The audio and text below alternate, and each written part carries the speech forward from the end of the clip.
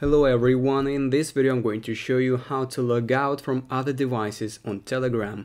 So actually it is very quick and easy, I'll show you how to do that, but we need to watch this video till the end so you won't miss any important steps. So first of all we need to open Telegram and here we need to click on our profile picture in the bottom right corner so you can see your profile and some options. Here you need to scroll down a little bit until you will find devices just right here with a little orange icon. Click on it and here you will have some information about the devices you use. So as you can see, here is the option called terminate all other sessions and above this option uh, is the list of devices that are currently logged into your account. So if you click on that terminate all other sessions button, it will log out from all devices at once that are logged in in this, in this account.